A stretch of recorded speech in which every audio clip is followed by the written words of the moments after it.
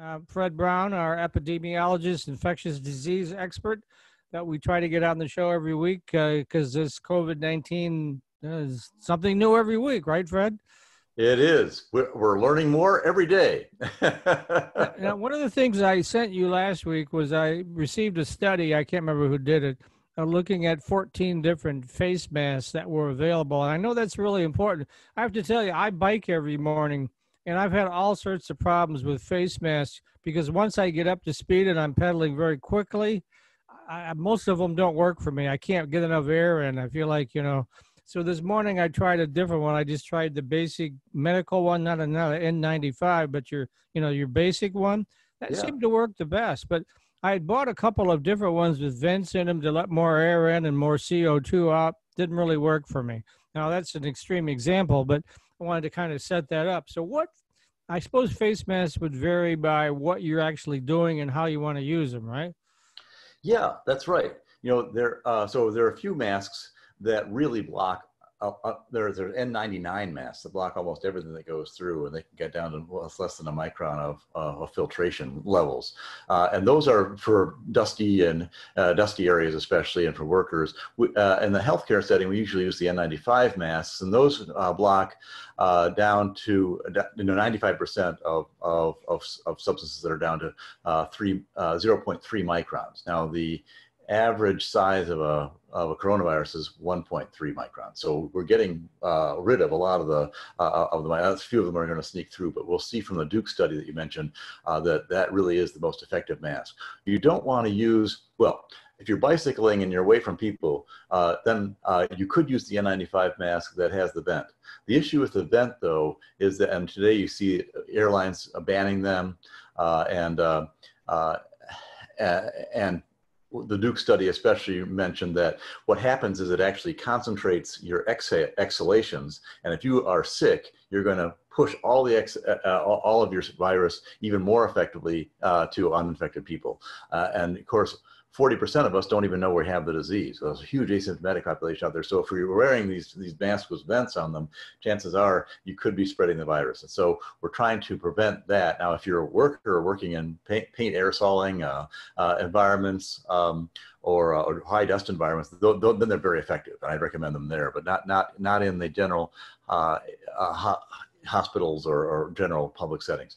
The, um, you mentioned bicycling it turns out that we have the biggest problem with masks, um, mask adherence, excuse me, uh, when we're in the gym. Only 41% of, uh, of people in gyms tend to be using masks. And that's because we're exhaling so hard that uh, we know we, we have a buildup and, and, and it's hard for us to breathe effectively. Sure. When you're doing that, the, the, the, the rule of thumb as a healthcare worker is back off. Uh, in other words, don't breathe so hard that it's hard for you to breathe through your mask instead of taking off your mask. Because uh, when you're breathing that hard uh, generally um, we've done studies on, on, on, joggers and bikers. You should really be about 20 feet away from those guys who are really exhaling hard singing shouting um, the, the, the, you're really expelling a lot of air. Uh, so uh, that, that's usually, usually the rule of thumb. Our, our, best our best protection is actually distance uh, and then we've got the masks to protect us when we come within that six feet radius. But if you can stay further away from people, then you're you're you're, you're safe, and I, you know you probably don't want to wear, your mask. Well, here we are in the fall. I live in Ann Arbor, as you know. Well, you live in Ann Arbor. That's well. right. That's and right. So uh, students are going to be coming back now. Apparently, from what I'm reading, is most of the classes will be done online, but still, they're going to be in the dormitories. They're going to be, I don't know if they'll be down by, by bars and restaurants. But, but let's let's kind of walk through that for a student or somebody that's working around these students or in a service environment. What kind of mask should they be wearing? So uh, I can show you the, the, Duke study, and that's generally the the, the, the case for everybody, not just students. Uh, so maybe I should we should go into that a little bit and talk about the mask mask effect, effectiveness. Um, um, so you're right. At University of Michigan, 70% of the classes will be online and i'm teaching class this year uh, and i'll be on online 100% usually we get together we have lots of uh, uh, we actually have you know physical get-togethers and experiments and so on that we work that we run uh, and it's there's a lot of learning that goes on there but we just can't do it Uh, so um, uh, 70% will not be uh, in class, uh, and then the rest of the 30 will either be hybrid uh, or or in uh, carefully spaced uh, uh, classes, uh, especially the big introductory classes. We're not going to push those at all. Yeah, when I was a freshman, I remember sitting in on some classes that were 500 students in a hall. I don't think we're going to be seeing that, right? Believe it or not, that, that same hall is still in use, and the most you can get in there and still socially distance is 75 people. Really? In, a, in an lecture hall of 500. Huh. Yeah. You have a lecture hall of 250 students, those are the other big lecture hall sizes, 45 students. That's it. Huh. So even if we wanted to, we'd have to run classes all day or just like go through the number of students you'd have to do. So yeah, uh, so generally, um, we're going to have a lot of trouble controlling the virus. Uh, going back to school, uh, you know, adults are having trouble uh, controlling the virus, and believe it or not, um, the biggest area of viral uh, uh, of, of, of what we're finding is the biggest um, some of the some of the biggest outbreaks have occurred in family and personal friend uh, get-togethers of 10 to 100 people. Sure. Uh, and the reason for that is people let their guard down. You know, oh, I've been with Joe for a while. He's my friend, and you know, you get close to them. Uh, a lot of uh, a lot of times there's hot, loud music playing, so you need to get close to hear, and you're you're expelling a lot every time you talk. And so, and because you know, 40% of us are asymptomatic, we don't know we got it, especially the younger students. Uh, and so it's it's extremely it's it, it, it, they, they- we will have an outbreak. There there's pretty much no doubt about it until we have testing that we can do twice a week. Once you can test all the students twice a week, at that point it becomes uh, much safer uh, because you know everybody's uh, you, you know everybody's health status. But until we have that or or an effective vaccine, it's, uh, we're going to have outbreaks. Uh, and any any school over five thousand. Uh, I think the last day or two, I also sent you over another story about this new test that tests the saliva. that's right. That's Uh, right. So, how effective would something like that be? Well, there are a couple of saliva tests uh, that, are, that are interesting. Um, uh, there's a group called Prediction Sciences out of Stanford. Uh, actually, they started at the University of Michigan. And they were moved to Stanford, uh, and they have a, a viral a, a viral saliva test that's very accurate, very sensitive, very specific. They can scale it up to billions of tests a day. Wow. Uh, they're doing that now. Uh, it's all it's all solid state, so you don't need any reagents at all, which is sort of neat. So some of these new technologies are really are really uh, are, are really good. The one you're talking about is one out of Yale. Uh, it is still a lab-based test, so it's not a test that you can that everyone can perform. Unfortunately, even though you're using saliva, which is easier to collect, obviously, but uh, because it's a lab-based test, what they've done is they they know they're going to have certain reagents. Our biggest problem with these tests that are occurring in the lab are the reagents and pulling everything together. So as you know, you've got nine different reagents that come together, and they have the swabs coming together, and that has, all all those have to come together in the right amounts uh, at the right time half of our supply chain is wasted right now. Half of our capacity is wasted because we can't get everything together in one bo- package to, to, be, to be tested. And uh, uh, so what Yale did is they actually developed a whole series of different, uh, of different ways of processing their test. Uh, and so they have a multiple different reagents. So if you run out of one, you can use another and so on, and uh, just a slightly different mix and that's very important. The other thing is it's uh, the, the total cost of the test is between one dollar and five dollars. So Oh. you have to add in all the all the transport costs, and you know right now, you know my guess is that's probably in excess of another five or ten dollars, frankly. But you know at least you're getting down to a, a, a, a level that you can uh, think about. What we really need though is a home test that everybody can do every day, all the time. And when you get and, and those are are starting to become at least tested and available. There's a laminar flow test that, that GSK is trying to roll out with Mammoth, which uses a nice CRISPR technology. Uh, and then there's a whole series of, of, uh, of paper-based technologies that are coming out. So there are, uh, but it's, it, we're not as fast uh, uh, as we should have been on this, unfortunately. Yeah. Well, I went ahead and got my flu vaccine uh, just this week. Uh, uh, and since I'm an older gentleman now, I got the maximum strength one. and My That's arm right. still hurts. So I got on Saturday and, and my arm still hurts. But I thought I better get in ahead of everybody else that's going to be getting that. Obviously, it doesn't do much for COVID. But but if you don't, I mean, the worst case scenario is you have the flu and you have the COVID at the same time. That'd be horrible, right? Uh, yeah, that's that's the scenario. You want to avoid that scenario. and the other thing is, what, what, when, you have a vaccine, and we found this with polio vaccines and and mumps vaccines, um, that if you have these vaccines, it resets, it recalibrates your immune system. Uh, and the flu, uh, the flu shots also will do that. And so as an older person, what happens is our, our immune system starts to react a little bit slowly and then it overreacts. And that's what causes a lot of the deaths that we're seeing. And so by having the flu shot, pol- uh, uh, uh, the, the uh, sorry, the pneumonia shot or the mumps shot, you can actually stimulate your, your immune system to respond appropriately to the COVID virus, which is really important actually. So would you? I mean, I had a pneumonia shot several years ago, uh, uh, and then would you recommend that people get booster shots for pneumonia yeah. shots, things like that? Yeah, you can get a booster shot, a- a- absolutely, and that again just sort of recalibrates your immune system, so it kind of wakes up the the the, the helper T cells and so on, and, and it's uh, it is helpful uh, to have just a, a vaccine generally uh, in, in the space. the other thing that's nice about the flu shot is that if you do come down uh, with the flu, it's not going to be as virulent generally what happens is we about, you know, we, we our flu shots are about 40 to 60% effective. And what happens is we actually reduce the virulence of the virus. So you, you have it for a shorter period of time and it's not quite as, you know, it's not quite as uh, heavy on, on, on, your body. Uh, so that you really, especially the older generation, that, that, that really helps uh, with survival rates if you got both COVID and flu at the same time. Yeah. Okay. So anything? Uh, I know vaccine is the the charm that we're all waiting for. Uh, there's been a lot of noise about maybe a vaccine by October. What do you think? Never going to happen. Well, I mean, I'm sorry. We have we have two. You can choose one. Uh, one has 10% uh, safety, huge serious adverse event, not just a you know a sore arm, but I'm talking about major systemic reaction uh, in China. So you can go to China and have that done. Uh, I think Saudi Arabia has a few of those shots, so you, you can get that done there.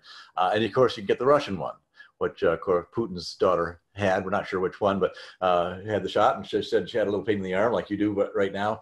The problem with the, that that is we're not it has it's only been up been actually injected in less than slightly less than 100 people so you know that that that the chances that first of all you've got any you know that we got some immune uh, response and second that it's uh it's it's it's uh going to be lasting is very low. Basically, what they did is they took a known adenovirus, a known a known uh, virus, uh, and they put in uh, viruses that weren't actually the COVID virus, but related to the COVID virus from the common cold. And so we know it's going to be pretty safe, but we don't think it's going to be very effective. So probably next spring at the earliest before we really see something that you think would be effective or not? If we're very, very lucky and very, very fast and the FDA does some spe- really special things, uh, then yeah, early, early, early next year, uh, I, I, think we might be able to get something as, as early as late December for, for very specialized uh, groups of people. Uh, and uh, but but for the general population, we're talking about at least spring of uh, 2021, and probably and with problem is you know to be something that's really effective and sanitizing and really impacts the disease at a, at a major level, we're probably talking end of 2021 earliest. Yeah, and of course then the scaling up the manufacturing of the vaccine. I mean, well, I'm not sure how many people we have in the world. I think it's somewhere around eight billion. Seven point eight billion. That would just be one shot. I mean, That's right. probably going to take multiple shots, right? You need 15 billion. Yeah, most of these have have to be boosted because uh, they have small amounts of. Uh, generally, that they the first time you take the shot, it gives you about the same level of antibody level as you as, as someone who is severely infected. And that we don't think that's going to protect you long enough and, and, and enough to really uh, give you the kind of protections we need a long term. So then you have to have a booster shot with almost all these shot uh, all these drugs. So we're talking about double the dosage.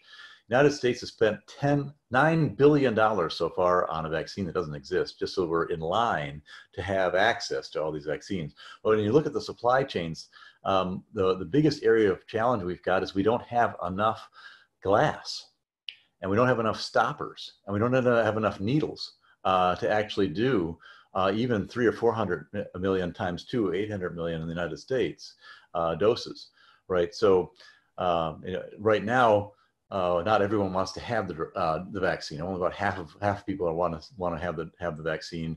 About 30% are holding saying let's wait and see. And about 15 to 20% saying I don't want to have the vaccine at all, which puts us pretty much at the level. If, if, if all the people who are on the, on, the, on the wall right now, on the fence right now, move and say, yes, I'm going to have the vaccine, then we're about uh, at the appropriate level for her, true herd immunity. But that means we've got a lot of convincing and, and, and, and, and shots to, to do. Um, and uh, the borosilicate production facilities, basically, you had in order to get your flu vaccine, uh, only have about half the capacity they need to in order to do the COVID. Uh, I'm sorry, about a third of the capacity they need right now to, to actually fill all the COVID vials. And we've got other things to vaccinate as well. All the pneumonia shots are coming up and so on. So um, that that's actually it's funny, but the the issue we've got isn't so much in the well, we will have a huge. I'm working with a number of companies that are trying to produce uh, their their different manufacturing environments, and you know these these are brand new kinds of environments. Scale up's quite difficult, um, and uh, and the and the FDA. Um, you know, has what they call CMC procedures, or control manu- manufacturing control procedures that have to be very well uh, looked at, evaluated, validated that you have to validate the equipment you got to validate the process you got to validate the uh, all the technicians you got to validate all the inputs. Uh, and so that takes time uh, to make sure that we're producing things not at a 30 30,000 person scale but at a 800 million level scale. You're talking about you know a vast a vast uh, size and different in scale. When you have those to change in the scale, your cleanouts have to be different. Uh, the way you flow the material through has to be different. Everything has to change. And so I'm helping a couple of companies do that right now. Uh, and I think, you know, I, am I'm, I'm pretty heartened by it. Uh, but, but we have a long way to go. well, let me ask you: When, when I, I, at some point, somebody's going to identify a vaccine that really works well. What's yep. the chances then of them giving sharing that information with all the other vaccine makers out there so we have a world response. I know this is a very competitive environment and everybody wants to make their big money and big pharma and all that. Is there any likelihood something like that could happen? Um, well so uh, it's all about what they call intellectual property and what, what, what the what, what the vaccine manufacturers will do is that they will they will protect uh, and and patent certain certain sequences, certain kinds of manufacturing capabilities, certain adjuvants, uh, certain processes. Uh, so their system is special. Now, eventually, we can get to a, a space of, of becoming generic. Usually, that happens after 20 years. Uh, of, of and that, at that at that point, I don't know if I'll be around be, in 20 years, but hey, maybe. at that point, then then then it's open season, and you can you know go go after it. Yeah. Generally, even even then, it's usually a little bit longer because there are a lot of patents that sort of what they do is they do patent what they call patent thickets, and they start to you know um, uh, create patents on top of patents on top of patents. So if you look at Humira, for example, which is a big drug, uh, you know, the original patent of that came off in 2015 and they're going to be patented until 20, 2023 as it turns out in the united states because they have manufacturing patents they've got use case patents they've got uh, active material patents so all those different patents come into play to create an overall protection for the people who are developing it so that's that's a big. So if you look at the costing, what's interesting is the costing right now. That the United States has negotiated. Uh, in Europe, they've negotiated two dollars fifty cents a test. Uh, our costing is between four dollars a test, uh, which is uh, which is uh, with AstraZeneca, and thirty nine dollars. I'm sorry, not a test a vaccine. Thirty nine dollars for um, two uh, for for the vaccines with Moderna. So you're getting into now you'd have to double that because you're you know getting the booster shot. So you know you're getting into between seventy you know ten dollars and seventy five dollars a shot. Um, so that's you know that's it's getting expensive, and if you have to have these every six months, we're not sure how long it's going to last. Maybe every year if we're lucky, maybe every you know even longer if we're even luckier. Uh, then you know it's going to get expensive. Yeah, well, uh, we're 30, 300 million people. That's the problem. Yeah, multiply it through, and it gets pretty expensive. okay. So, so I, I, I, you wanted to talk about the Duke study. Let me, let me. I, I put, yeah. I, you know, I've got this. I got the material. If, you, if you're interested, we can talk a little bit about the Duke study, which talks about masks. Yeah, absolutely. We got about ten minutes left. See if we can cover it in ten minutes. Oh, okay. We'll, we, we will. We'll, we'll, we'll do it like a movie. All right. Let's take a look here. Here's my screen. I don't know if you can see it. All right. Uh, not yet. No, now I can. Okay. All right. So this is sort of interesting. The reason we want to wear masks is because, uh, and here's the vaccination, pneumonia, polio vaccine. You can see that uh, I was talking about vaccinations and how that helps you. Um, so, and prior, uh, that, that, so that, that's a little bit of data there as, as well we talked about earlier. But the reason that we're worried, uh, the reason we all want to wear masks is because there's so many asymptomatics out there. People who are walking around, your friends, good friends, who actually have absolutely no symptoms. And they're doing great. And you know they play tennis and they're you know looking really active and they have no symptoms but they actually have live virus and they they cough and they breathe and they come close. And all of a sudden you catch it and you may not be asymptomatic. You may actually have bad symptoms. Uh, and so that's why you know you want to have your friend wear the mask. That's why you want to wear the mask. Um, and you can you can see what was interesting is we're starting to see that viral load um, the dose of the virus you get can actually, we think, affect how bad your symptoms are. So if you remember that doctor who died in China, he was he was constantly seeing patients. He was getting a lot of viral load, and he was only 31 years old, and he died because he had all this virus in him, uh, and he, and his, his immune system was just overwhelmed. So you don't want to get into a situation where because you haven't your, your friend hasn't worn the mask you're not wearing the mask you've got you got a big viral load uh, because you'll you probably will have worse symptoms. Now we don't know that 100% sure. It's not a perfect correlation but we're we're pretty sure. You know we're, we're, getting and we're getting sure by the day. So um, uh, you can see the surgically masked people had milder cases. People tend to get less sick uh, with, with on lower doses. And the Argentinian uh, cruise ship, we, we had sort of two cruise ships that were going at the same time. One was this Argentinian cruise ship, oh, and before that, we had the famous Diamond Princess in Japan. Diamond Princess, that was really early. No one wore masks, and um, you can see that the amount of people coming off the ship only half of them were asymptomatic, which means they did that, that half of them had very little symptoms and were pretty in pretty good shape.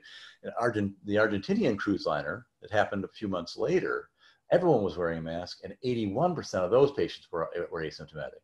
So you get almost a you know you get that between you know 50% if you don't wear a mask uh, in terms of chance of getting becoming asymptomatic 50-50 versus a 20% chance of becoming symptomatic if you get sick and wearing a mask so that that helps right the mask helps you we think. That makes sense? Yeah, absolutely. So here, the I have a little bit of. Uh, there's a really interesting study about hospital rooms, and and if you're in a hospital, the mask probably isn't going to, you know, if you're there for a long duration of time and you're breathing a lot of air, uh, the, the mask can help you uh, quite a bit. Um, and the reason you want people to wear masks in the hospital is because you can see that the, here are these two patients they weren't uh, wearing masks and the, the, they, they had very good air filtration. They had six times removal an hour. We're, we're, looking at, you know, even schools have like four times an hour. So this is six times an hour. They had ultraviolet radiation of all the air that went through the system and they still found all of these viral particles in the air by the one guy who wasn't wearing a mask that was floating in and infecting the guy who did have a mask. He was asymptomatic, and they realized, oh my gosh, the guy has COVID halfway through because the other guy got sick.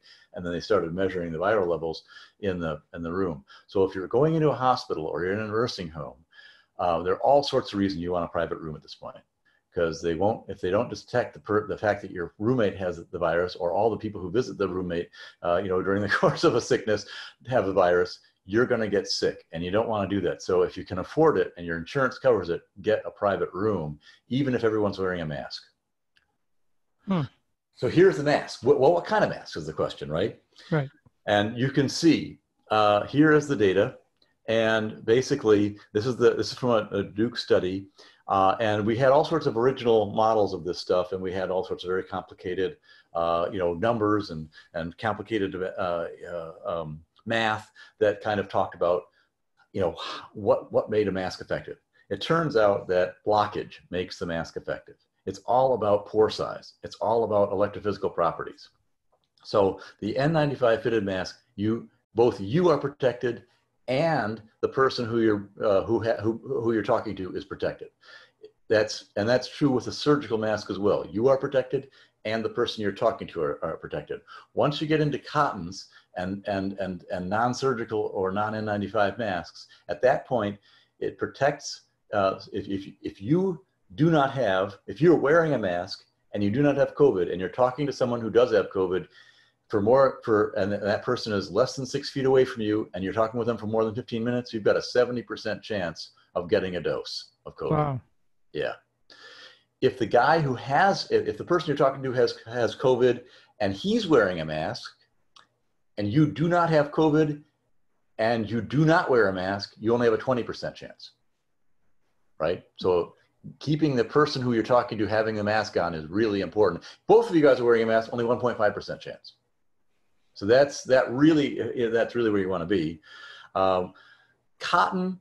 Uh, so polypropylene is a little bit better blocker than cotton. So if you have a choice of wearing a mask uh, and it's got to be the fabric, choose polypropylene and try to layer it threefold thick. Uh, if you're going to wear cotton, threefold, uh, three thick thickness uh, cotton layer of flannel was the best blocker. And uh, one was, of course, the worst blocker. Uh, so it all depends on the thickness and how many blockages you've got. You can see the knitted masks didn't do very well, right? What, what they looked at was droplet counts uh, that you were able to inhale through the mask. Uh, and you can see the graph they did. They had laser beam. They breathed through the mask. You could see how much uh, particles, and they had a particle counter, uh, was going through the mask as a result of that breath. And over over time, you can see how much uh, slowly developed. Um, the bandanas are almost worse than nothing. so, so the people who have the bandanas that just pu pushes your, your, your breath downward, that's not so effective. And my guess, they didn't test it. I'm, I'm disappointed they didn't. My guess is that probably face shields are similar to bandanas. Mm. And so um, I would beware of people who are only wearing a face shield. Certainly stay away from guys who are only wearing bandanas. The worst thing you can do is wear a fleece. You know why? Why? It turns out that the fleece is actually aerosol, the droplets. ah. so you push it through and it actually makes the droplets smaller and, and, and, and more widespread and in the air longer. So whatever you do, don't wear a fleece because it actually is worse than having nothing. mm. so that was, that was very fascinating, I thought. So that kind of gives you a sense. N95 is best.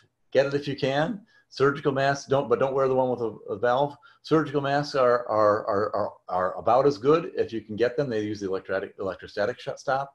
Polypropylene slightly better than but, cotton, but cotton breathes better. So you want to make kind of, there's a trade-off there. If you're going to get cotton, three layers thick, don't wear bandanas, don't wear knitteds, don't wear fleeces. All right, two minutes left. So uh, minutes what can left. we sum up in two minutes? Mask care take care of your mask. It's like underwear. Wear, wash it every day. Put it in some bleach every day, uh, and then throw it in the hot in a hot dryer. If you start seeing fraying around the ears, probably not a good mask anymore, especially for N95 and surgical masks. Don't wear it again. When you take off the mask, take it off on the sides. Don't hold the front because it's full of crud.